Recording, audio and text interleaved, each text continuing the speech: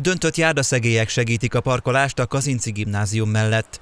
Korábban nehézkes volt a megállás, az autósoknak ugyanis fel kellett ugratniuk a járda szélére, így kevesen használták ezeket a parkolókat. Korábbi járdaszegélyre létesített parkolóhelyeknél nehéz volt a parkolóhelyek megközelítése. Ez a járdaszegély átépítése került egy döntött szegélyé, ezáltal a parkolóhelyek megközelítése nagy mértékben javult.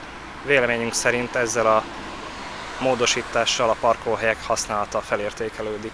A Jókai úti parkolóház előtt mozgáskorlátozottak számára különített el egy helyet a Győrszól, hogy az érintettek könnyebben meg tudják közelíteni az ügyfélszolgálati irodájukat.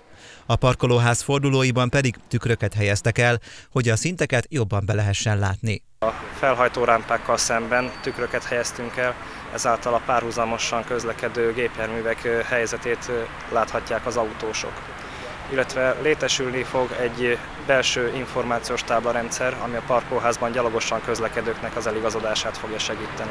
A sajtótájékoztatón elhangzott, az adventi időszakban hétköznapokon délután négyig kell fizetni a parkolásért. A városüzemeltető azt javasolja, a zsúfoltság elkerülése érdekében az autósok használják a parkolóházakat is.